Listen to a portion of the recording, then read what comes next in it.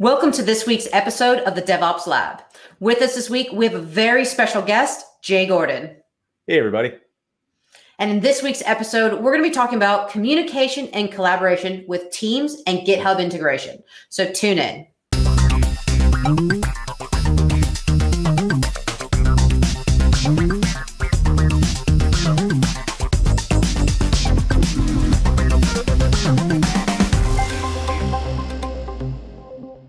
Welcome to this week's episode of the DevOps Lab. And with us this week, I have a very special guest, Jay Gordon. Hey, hey Jay. nice to see you. Great so to have for, you here. No problem. Thanks for having me uh, back on this show. I haven't been on a while, and I'm really happy that I get to come back here and talk to everybody a little bit about a DevOps tool. Wicked. So today we're going to talk about collaboration communication with GitHub and Microsoft Teams. So let's kick us off, Jay. What do you have?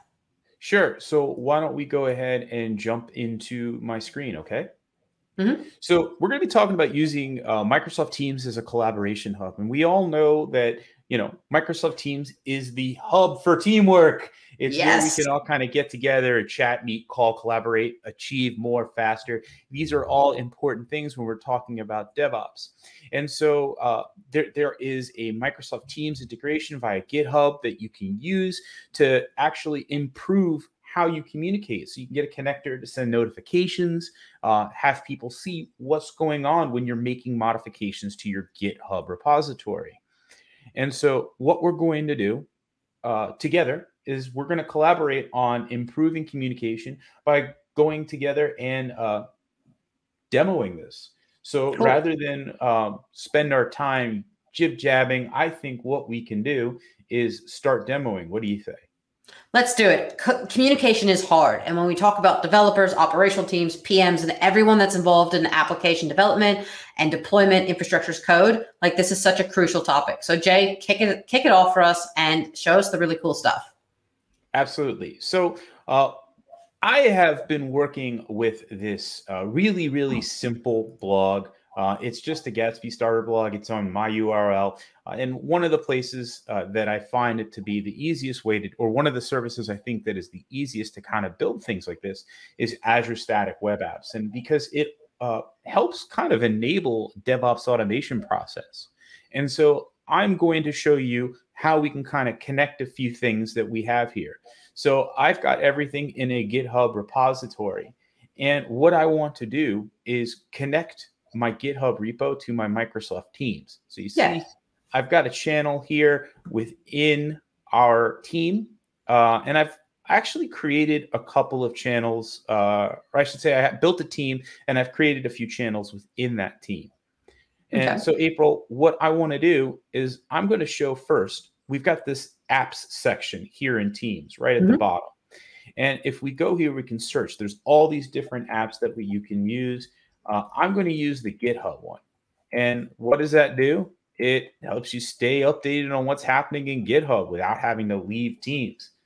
That's pretty cool. And I think it'll help our um, our team that we, we may be working alongside get these updates uh, on what we're doing. So uh, we've got this. You can see I've been playing with it in the past. Mm-hmm. I get my notification. The GitHub mentioned me. We can subscribe to all these different repos, but but I'm going to utilize what's known as a connector in Teams. Cool. So that we can go into an individual team and actually have it send notifications. So, what I can do is go to the triple dot here, go to connectors in my dropdown. Okay. And so now we're going to kind of get something that's similar, a whole bunch of different types of connectors that we can use. So uh, I've already configured one for Azure DevOps so mm-hmm. that when I make modifications to my Kanban board, uh, it'll send it to the rest of my team. So I can just awesome. go ahead and click configure. And so now it's going to ask me for a name, and I'll just call it DevOps Lab, uh, and then click create. So that's just a something to name this particular connector that we're going to be doing.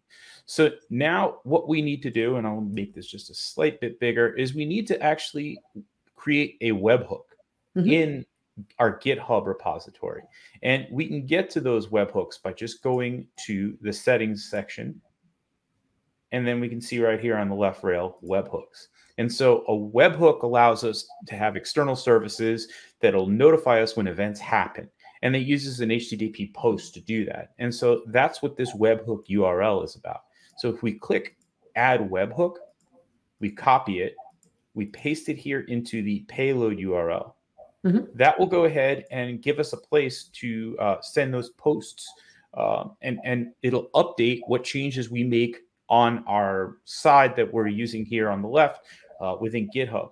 And so we, we've got the option here to uh, add uh, different types of events. So in this case, what's the name of the channel I created? GitHub updates all. So let's send me send everything. everything. Yeah. And then it'll say active and add webhook. And so now that webhook is active, um, you can see it's just got all those steps that are here so you can actually see. And then we can just click done at the bottom and our webhook gets added. And um, we can take a look. We've got some activity. If we go into GitHub updates all and we make changes, we'll actually see it. But you know, one of the things that we may want to do, April, is we may only want to see, uh, say, our our pull, pull requests. requests.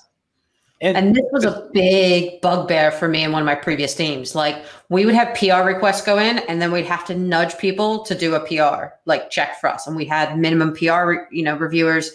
This is awesome. This is a total game changer. So let's go back to connectors, and we can modify it.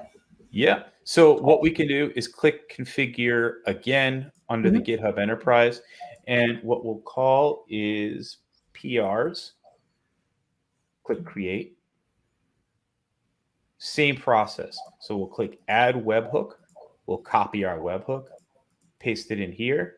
And then in this case, uh, we can see which events would you like to trigger trigger with this webhook. And you can see in the actual teams, it'll tell you, note that we can do these types of events. So issues, pull requests, pushes, issue comments, com, commit comment, and then the PR uh, review comment. Awesome. So what we'll do is we'll go, let me select individual events. I'm going to scroll down. You can see there's all these different tons of options.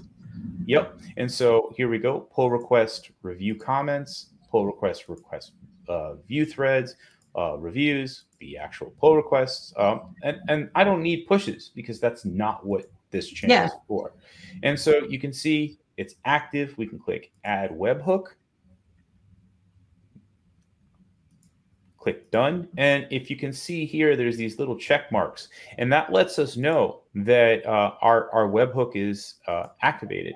And so mm-hmm. we see here, it says right here, uh, Jay Gordon has set up the connection to GitHub Enterprise. So this is uh, within here. There, there was two different types of apps that I s- set up. I set up the application which will do everything for GitHub, and if you can see, uh, we've got this little GitHub icon.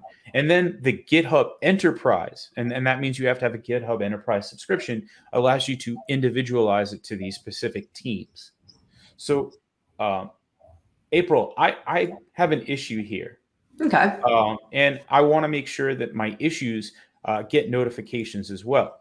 So I can just go here and add a channel uh, and if once I add a channel, I can do the specific thing for my GitHub issues.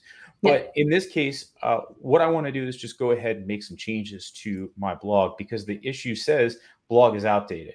We need to fix that, right? Yeah. Let's let's resolve that.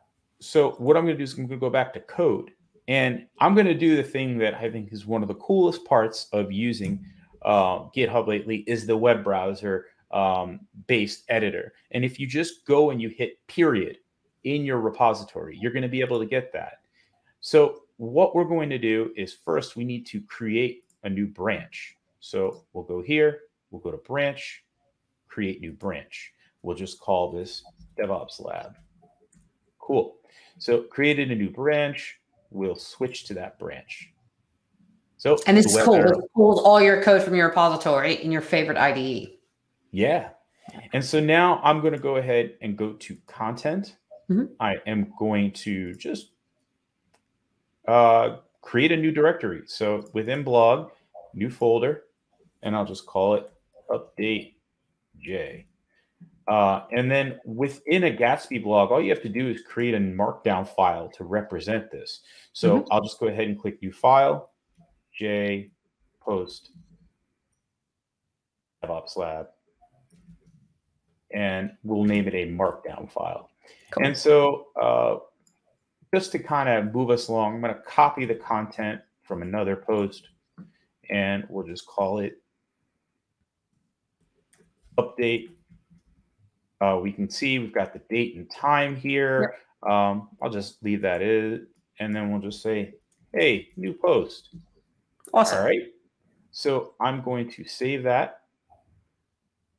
And now I'm going to go into source control. I am going to go ahead and stage that change. Okay, now it's staged. Now let's create a pull request. Mm-hmm. And you can see uh, merge changes uh, right here into the branch. Uh, into we're not going to use the main. We're going to use, uh, or I should say, the upstream. We're going to do it to our individual one. Uh, and then what we'll do is we'll name our PR DevOps Lab update. Okay. So we've gone ahead and we've created this. Let's go. Oh, and, and also here, what's really cool is we can compare the updates if we want to. Yes, so and create a draft as well, which is really good.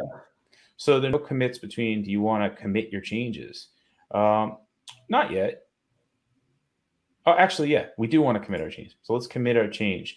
Uh, hmm, command commit. Um, so let's go ahead and actually head back, commit, because we need to commit in order to actually use that PR. So we'll just call it J commit EOL. All right. Great. So now we've gone ahead, we've committed that. Um, we will go back to our pull request and we will click create. So now we've got our pull request created. You can see it all here. And and look at this on the right side, April. It's come through in Teams, and we know we have a pull request to update. Yep. So April, uh, for before I merge that, and we'll go back to our blog post, uh, we can see uh, we've got this pull request. Mm-hmm. Uh, I could you give me a quick review? Yeah, absolutely. Let me review your pull request. I can go into that now.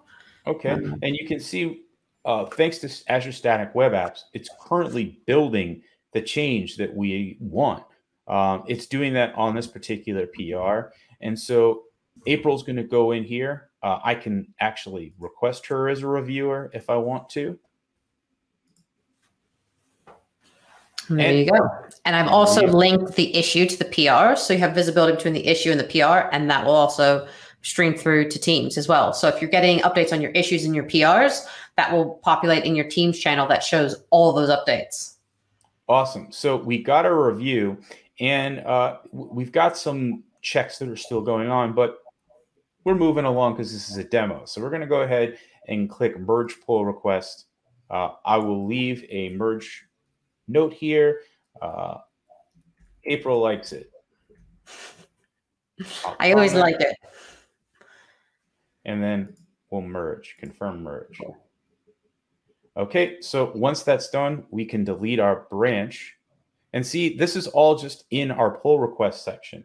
So we're getting all these changes to the pull request. So we'll click delete branch. And what we can do actually is go back to our code. We can see that right now we've got a build going on in actions. And when this is all done, April, mm-hmm. uh, it'll make our blog available. And so we awesome. can go back to uh, my blog post. We can see those. This will take just a few minutes to go ahead and build and create the new changes. Uh, and then we'll be able to go to our website and take a look. So uh, let's go one quick in here and you can see all the updates. If you need to, you can see all the updates are over in here, including the commits, the new comments. Right here. I've commented. Yep. And so that makes it really simple to be able to give us everything we need. So I want to give people some information and resources that they can use uh, if they want to get more info on this. So uh, if you go to https uh, aka.ms slash GHE Teams TDL, um, you can go and get all the information on this particular uh, product within the uh, the Teams uh, apps. So you can take a look at everything there. And if you want to, you can explore the different learn content and get your AZ400 because you can be a DevOps superstar and get certified around that. So that's everything, April. That is everything I have for you today. Awesome, Jay. Thank you so much. And I think it's really important that we focus, you know, when we're a high performing DevOps organization or we're trying to embrace DevOps, that communication piece. And this integration into Azure DevOps, into GitHub, into Teams is huge. And if anyone was paying attention, you could see that you could hook in other third party services. So if you're using a different tool, that is still fully capable to integrate into Teams as well. Jay, thank you so much for coming on today. We'll put some links uh, for the video for everyone to see afterwards, and we'll catch you next time on the DevOps Lab. See you soon.